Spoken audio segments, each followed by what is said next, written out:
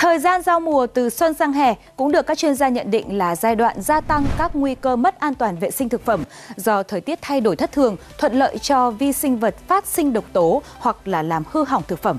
Vì vậy, vấn đề kiểm soát nguồn gốc chất lượng thực phẩm càng cần được chú trọng hơn. Cùng với đó, quy trình sơ chế, chế biến bữa ăn học đường cũng cần được ra soát thường xuyên, đảm bảo bữa ăn ngon miệng, an toàn cho học sinh. 6 giờ sáng, khu vực nhận nguyên liệu của một trường mầm non tại Hà Nội Từng loại gia vị, thực phẩm đầu vào được cân đo, giám sát theo đúng định lượng bởi nhân viên bếp, giáo viên, nhân viên y tế và đại diện ban giám hiệu. Trái cây, rau củ cùng các loại thịt được kiểm tra kỹ. Bên cạnh đó, nhà trường cũng tối đa hóa lượng rau xanh hữu cơ được cung cấp ngay từ vườn trường. Trước tiên là mình ờ, nhìn ờ, cảm quan là phải là tươi ngon này, ờ, thịt phải là mềm này, dẻo, ấn vào độ thịt là có sự đàn hồi và khi mùi vị thì ta ngửi thêm không thấy có các mùi khác lạ.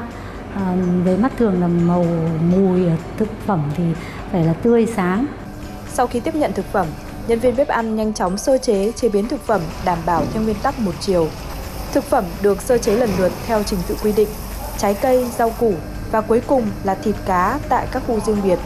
Sau đó chuyển sang khu vực chế biến để tẩm ướp và khu vực nấu chín. Cùng với quy trình chuẩn bị bữa ăn tại khu bếp Thực đơn dinh dưỡng được xây dựng theo mùa cũng được nhà trường công khai với các bậc phụ huynh. Mẹ cũng tham quan nhiều rồi ạ, tại vì học ở đây cũng mấy năm rồi, cũng khá thường xuyên.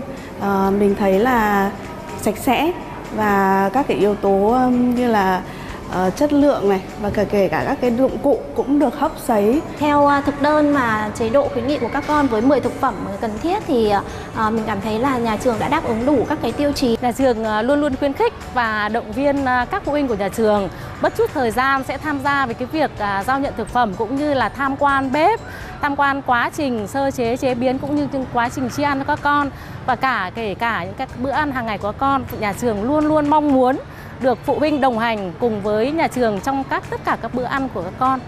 Thực phẩm nấu chín sẽ được chia tại khu vực riêng biệt, yêu cầu đúng quy định, chất lượng. Khi chia về các lớp, đảm bảo đúng giờ ăn, các món có ấm nóng, đảm bảo học sinh có bữa ăn đủ dinh dưỡng và ngon miệng. Con thấy bữa ăn ở trường rất ngon. Con thích nhất là món tôm chiên và bò hầm. Con rất thích ăn rau, nhất là món su hào xào ăn hết suất.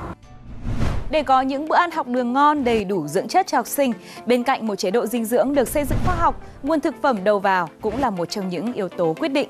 Bởi thực phẩm có tươi, ngon, rõ nguồn gốc xuất xứ, đảm bảo chất lượng thì từng món ăn mới đảm bảo. Vì vậy, việc kiểm soát nguồn gốc, chất lượng thực phẩm vào trường học mỗi ngày luôn được nhà trường, gia đình quan tâm có thể nói rằng là cái thời tiết nồm ẩm này ấy, thì nó rất là dễ làm cho các cái thực phẩm nó bị ô nhiễm các cái vi sinh và nó uh, sẽ gây ra các cái tình trạng ngộ độc. Mà các cái ngộ độc đó thì thường gây các cái ngộ độc hàng loạt. Thế cho nên là khi mà sử dụng các cái thực phẩm phải chọn các cái thực phẩm mà nó có nguồn gốc xuất xứ là phải có hợp đồng này có cam kết có địa chỉ hẳn hoi và phải chứng nhận là đảm bảo về vấn đề vệ sinh an toàn thực phẩm.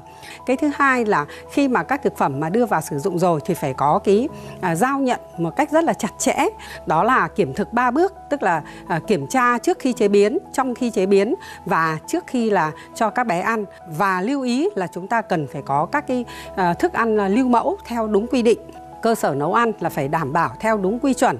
Ví dụ như là bếp ăn theo một chiều này và sử dụng nguồn nước sạch này. Và nhân viên nấu ăn là phải được huấn luyện về vấn đề an toàn vệ sinh thực phẩm. Mà khi mà đã nấu xong rồi thì cố gắng là cho các bé là ăn ngay. Và à, nếu mà chưa đến giờ ăn thì chúng ta phải có cái bảo quản cũng như là vận chuyển phân phối là phải đảm bảo đúng cái quy chuẩn không chỉ tại trường học, ngay tại gia đình, việc lựa chọn thực phẩm cũng cần lưu tâm cha mẹ nhé. Quy trình sơ chế, chế biến, bảo quản thực phẩm cũng phải lưu ý. Đó là nấu kỹ thức ăn, bảo quản cẩn thận thực phẩm đã nấu chín, không để lẫn thực phẩm sống và chín với nhau. Hãy lưu tâm để trẻ luôn có bữa ăn ngon, đảm bảo an toàn vệ sinh thực phẩm.